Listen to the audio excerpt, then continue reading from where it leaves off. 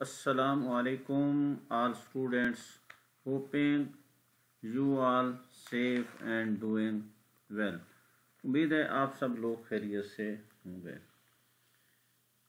मैं doctor Mohammad Hafeed lecturer, biochemistry and senior faculty member of Shahrukh Alam College of Health Sciences Multan आपसे मुखातिब हूँ dear students Shahrukh Alam College of Health Sciences Multan Punjab का वसी building पर मुश्तमिल इदारा है। Shahrukh Alam College of Health Sciences जदीद लेबॉर्ट्री आलात से मुजयन और स्पेशियस लेबॉर्ट्रीज पर मुश्तमिल इंस्टीट्यूट है, जहाँ पर मेहनती, तजर्बाकार और अली तालीम याफ्ता इस पढ़ा रहे हैं। कोरोना की मौजूदा सूरत हाल के पेश नज़र Shahrukh Alam College of Health Sciences ने यूट्यूब पर ऑनलाइन क्लासेस का सिलसिला जारी रखा हुआ है ताकि आप लोगों का वक्त ज़ाय ना हो और आप लोग टाइमली स्टडी करते रहें। आप दी गई स्लाइड्स को बार बार पढ़ें, समझें और अपना लेक्चर क्लियर करें। अगर आपने कोई क्वेश्चन पूछना हो तो आप ग्रुप में क्वेश्चन पूछ सकते हैं, जिसका आपको जवाब दिया जाएगा।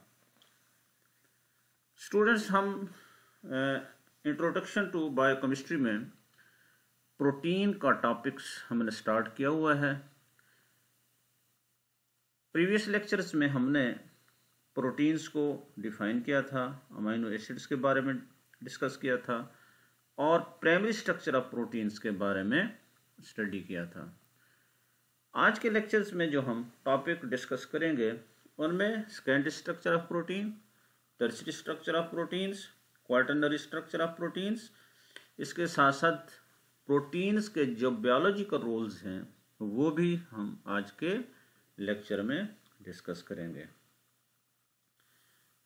Students primary structure of proteins में हमने ये पढ़ा था कि प्राइमरी स्ट्रक्चर्स में अमाइनो एसिड एक लीनियर सीक्वेंस की सूरत में मौजूद होते हैं और प्राइमरी स्ट्रक्चर ऑफ़ प्रोटीन्स में किसी किस्म की फोल्डिंग, ऑयलिंग, बेंडिंग नहीं होती और ना ही प्राइमरी स्ट्रक्चर ऑफ़ प्रोटीन में कोई एक्स्ट्रा हाइड्रोजन बॉन्डिंग होती है। बल्कि अमाइनो एसिड एक सीधी चेन्स की सूरत में मौजूद होते हैं।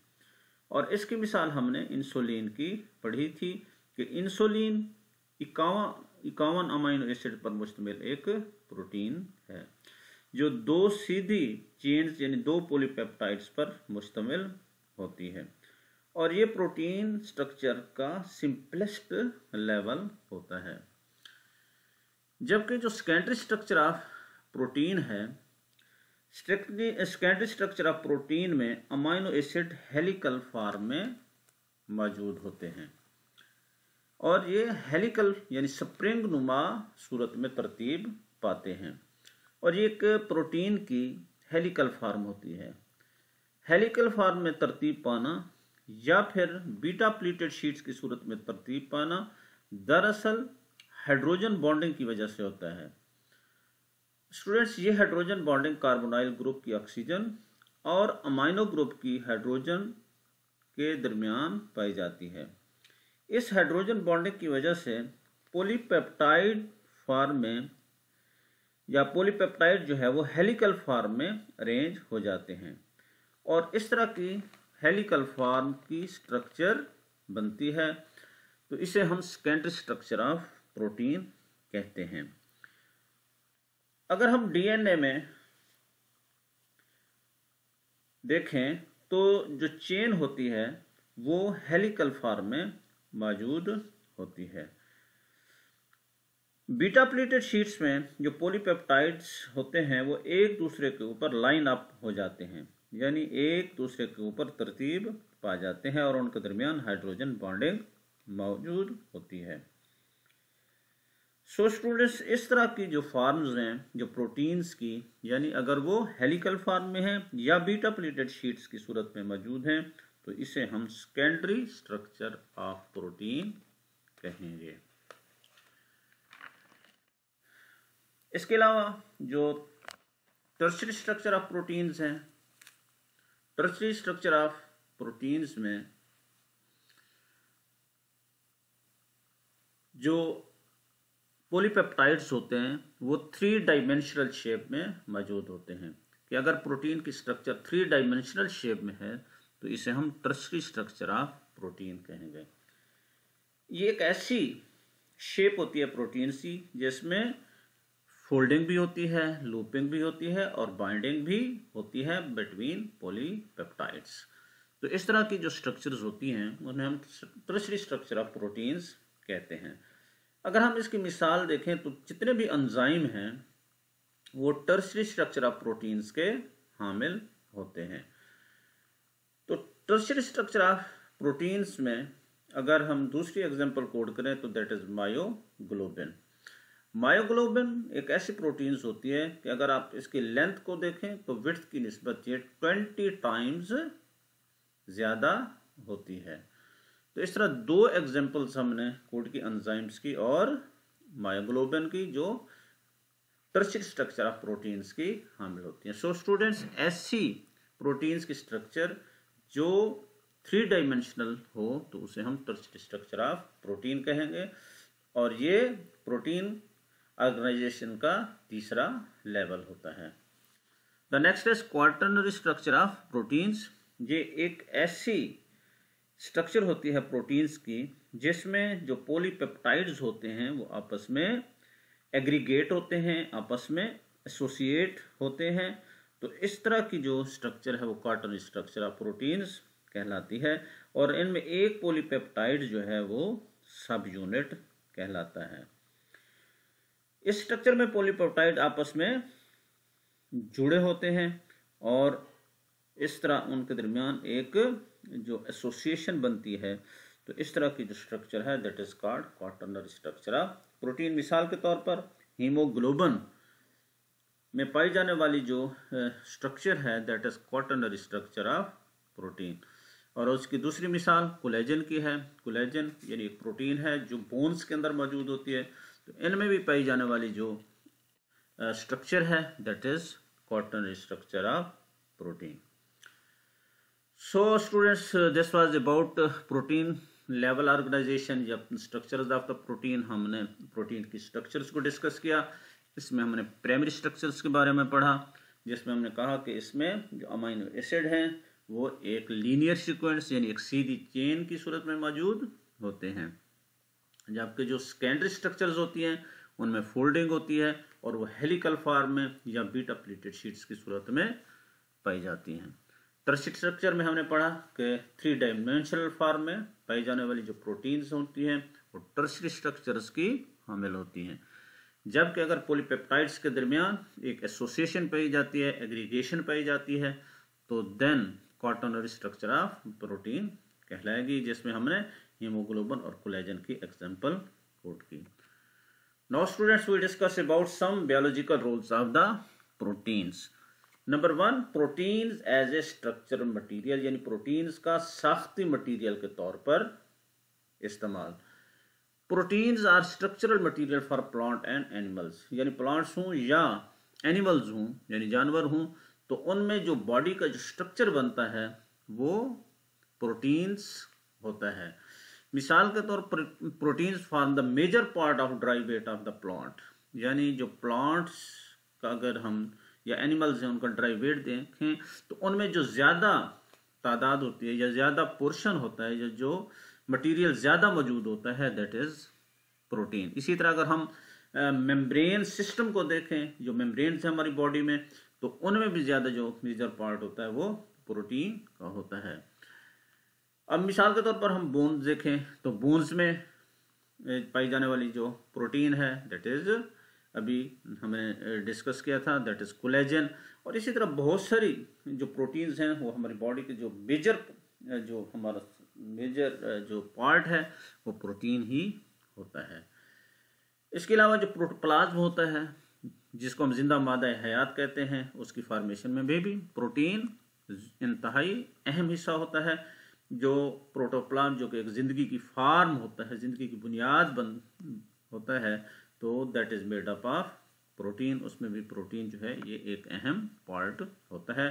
तो इस तरह बहुत सारे प्रोटीन जो है वो हमारी बॉडी का हिस्सा होती है हमारी बॉडी के जो ऑर्गन्स हैं हमारी बॉडी का जो सेल है जैसे प्रोटोप्लाज्म है उसका मेजर पार्ट जो है वो प्रोटीन्स होता है।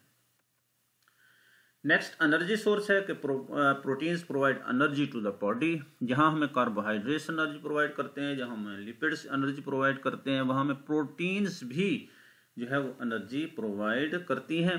और एक ग्राम प्रोटीन जो है हमें 4.1 किलो कैलोरी एनर्जी प्रोवाइड करती है।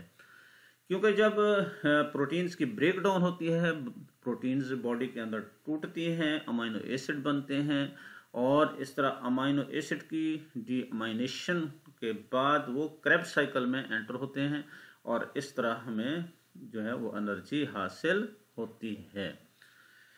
इसके अलावा next, defencing of the body के बहुत सारी प्रोटीन्स होती हैं जो हमारी बॉडी को डिफेंस प्रोवाइड करती हैं, हमारी बॉडी को बैक्टीरिया के अटैक से बचाती हैं या वायरस के अटैक से बचाती हैं या कोई ऐसा हार्मफुल मटेरियल हमारी बॉडी के अंदर दाखिल होता है तो उसके खिलाफ हमारी हिफाजत करती हैं। तो ऐसी प्रोटीन्स को हम डिफेंस प्रोटीन्स कहती हैं और ये हमारी बॉडी में डिफेंस प्रोवाइड करती हैं। यानी proteins are use against diseases in higher animals. Antibodies and interferons are proteins, यानी जो एंटीबॉडीज हमारी बॉडी में बनती हैं, दैट आर प्रोटीन्स। और इसी तरह इंटरफ्यूरॉन भी एक प्रोटीन है जो हमारी बॉडी में बैक्टीरिया और वायरस के खिलाफ जो है वो मुजामत पेश करती है, हमारी बॉडी को डिफेंस करती है। इसकी मिसाल इम्यूनोग्लोबिन, ग्लोबुलिन की है।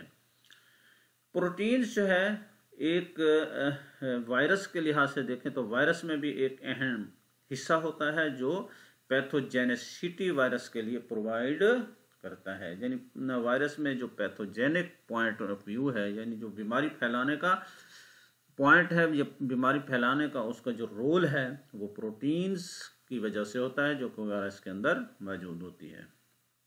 नेक्स्ट रोल देखें तो डाइट्रो प्रोटीन्स है, कि supply of nitrogen and sulphur is regulated by dietary proteins यानी हम जो खुराक में प्रोटीन हासिल करते हैं या लेते हैं, उसमें जो हमें सल्फ़र और नाइट्रोजन की सप्लाई है, वो डाइट्री प्रोटीन्स की वजह से होती है। क्योंकि हम जो प्रोटीन खाएँगे तो उससे नाइट्रोजन भी हमें हासिल होगी और उससे सल्फ़र भी हमें मिलती है, जो हमारी बॉडी के लिए ज़रूरी होती है। और जैसे मैंने पहले ही बताया कि एक ग्राम अगर प्रोटीन हम यूज़ करते हैं तो हमें 4.1 किलो कैलोरी या 4100 कैलोरी तवनाई हासिल होती है।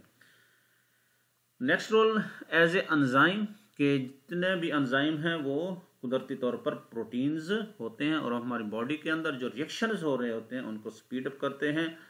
तो all enzymes are protein some protein act as enzyme, enzymes play important role in the metabolic reaction and they enter and speed up specific chemical reactions यानी एंजाइम जो हमारी बॉडी के अंदर है, वो स्पीड अप करते हैं कि मेटाबॉलिक रिएक्शंस को हमारी बॉडी के अंदर जितने भी रिएक्शंस हो रहे हैं, वो तमाम रिएक्शंस को जो स्पीड अप करते हैं, वो एंजाइम्स होते हैं और एंजाइम प्रोटीन्स होती हैं। इसके अलावा जो हार्मोन्स हैं दे आर आल्सो प्रोटीन्स जो हमारी बॉडी के अंदर जो मेटाबॉलिक रिएक्शन या जो रिप्रोडक्शन प्रोसेस हैं, उनको रेगुलेट करते हैं। तो हार्मोन्स भी प्रोटीन्स होते हैं। अगर नेक्स्ट देखें तो रिज़र्व फ़ूड यानी रिज़र्व फ़ूड के तौर पर भी प्रोटीन्स जो है ना वो हमें हासिल होती है most part of fruits and vegetable is compose of protein यानी जो फ्रूट्स होते हैं या वेजिटेबल्स होती हैं, उनमें जो प्रोटीन्स मौजूद होती हैं, जो हमारे लिए रिज़र्व फ़ूड के तौर पर मौजूद हैं। These proteins are storage compound albumin stored in egg while casein is present in milk यानी एग में जो प्रोटीन पाई जाती है एल्ब्यूमिन है, जो हमारे लिए रिज़र्व फ़ूड के तौर पर मौजूद है। और इसी तरह जो मिल्क के अंदर प्रोटीन है दैट इज़ कैसीन इसको भी हम यूज़ करते हैं।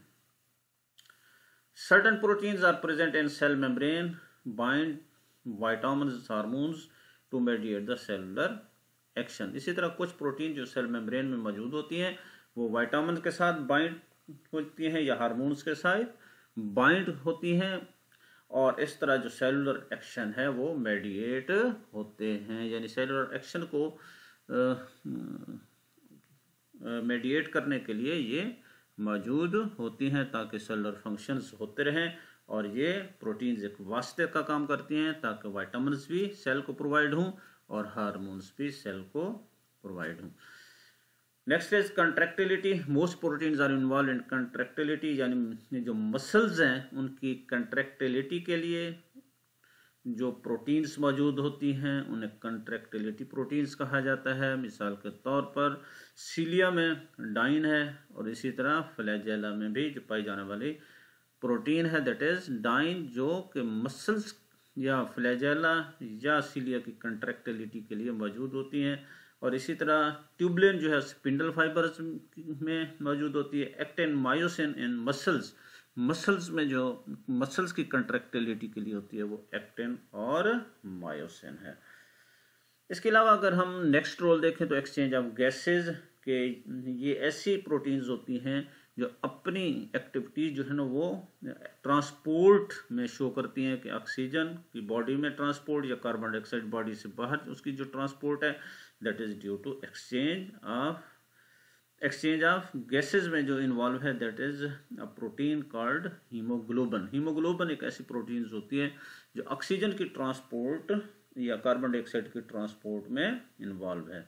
तो ऐसी प्रोटीन्स को जो एक्सचेंज ऑफ़ गैसेस के लिए मौजूद होती हैं, उन्हें हम हीमोग्लोबन एक एग्ज़ाम्पल कोड करते हैं, जो कि ऑक्सीजन की ट्रांसपोर्टेशन के लिए और कार्बन डाइऑक्साइड की ट्रांसपोर्टेशन के लिए बॉडी में मौजूद होती है। इसी तरह सम एक्ट एज हारमोन्स, कुछ ऐसी प्रोटीन्स होती हैं जो हारमोन्स के तौर पर काम करते हैं, जैसे इंसुलिन है, ग्रोथ हार्मोन, या parathyroid hormones all these are proteins. तो ये भी इस तरह ऐसी कुछ प्रोटीन्स होती हैं जो हार्मोन्स की ट्रांसपोर्टेशन के लिए मौजूद होती हैं। मिसाल के तौर पर इंसुलिन की हमने एग्जांपल कोड की या थेरा पैराथायराइड हार्मोन्स की एग्ज़ाम्पल कोड की। तो ऐसी प्रोटीन्स जो ट्रांसपोर्टेशन के लिए होती हैं, उन्हें हम ट्रांसपोर्ट प्रोटीन्स कहते हैं। जैसे एक्सचेंज ऑफ़ गैसेस के लिए हमने हीमोग्लोबिन की मिसाल कोड की हार्मोन्स की जो ट्रांसपोर्टेशन के लिए हमने इंसुलिन की मिसाल जो है वो कोड की। तो इस तरह सम रोल्स हमने पढ़े। इसके अलावा कुछ ऐसी प्रोटीन्स भी होती हैं जो हमारी बॉडी के अंदर होम्योस्टैटिक कंट्रोल रखती हैं। यानी हमारी बॉडी के अंदर जो ब्लड का वॉल्यूम है या दूसरे जो फ्लूड पाए जाते हैं, उनका जो वॉल्यूम है, उनको एक लेवल पे जो है ना वो रखना होम्योस्टैटिक कंट्रोल ऑफ़ प्रोटीन्स कहलाता है। इस तरह कुछ प्रोटीन जो है ना वो ब्लड क्लॉटिंग में भी हिस्सा लेती हैं और कुछ ऐसी प्रोटीन्स होती है ट्रांसपोर्टेशन के लिए भी, जैसे हमें भी, हम पहले भी हमने पढ़ा था, उसके लिए भी मौजूद होती हैं। ब्लड क्लाटिंग में जो प्रोटीन्स होती हैं, उनमें थ्रुम्बिन फिब्रिनोजन और इसी तरह दूसरे प्रोटीन फैक्टर्स जो ब्लड के अंदर मौजूद होते हैं, वो ब्लड की क्लॉटिंग में इन्वॉल्व होते हैं। The proteins present in blood plasma act as colloidal particle and exert the osmotic pressure of 25 to 30 M of H G जैसे मैंने बताया कि हीमोस्टैटिक जो इन्वायरमेंट है, उसको होम्योस्टैटिक इन्वायरमेंट को मेंटेन रखना भी प्रोटीन्स का रोल होता है। उसमें ब्लड को को कोलाइडल पार्टिकल्स की सूरत में या और उसका ऑस्मोटिक प्रेशर जो है ना वो मेंटेन रखना, जो कि 25 to 30 milli M M of H होता है, ये भी प्रोटीन्स का एक रोल है। The role of protein and plasma membrane where they act as a transporting और कैरियर मॉलिक्यूल्स एंड रिसेप्टर्स और इसी तरह सेल मेम्ब्रेन में जो प्रोटीन्स होती हैं, वो कैरियर मॉलिक्यूल्स के तौर पर या ट्रांसपोर्टेशन या रिसेप्टर्स के तौर पर काम करती हैं। Hereditary proteins hereditary transmission they perform hereditary transmission by nucleoproteins of the cell nucleus यानी हेरिडिटरी विरासती जो ट्रांसमिशन है, वो भी प्रोटीन्स के ज़रिए होती है। तो इनको nucleoproteins of new of the cell nucleus में पाई जाने वाली न्यूक्लियो प्रोटीन्स कहला, होती हैं। Chromosomes movement movement of the organs in the plant cell is due to the movement of chromosome during anaphase of the cell division.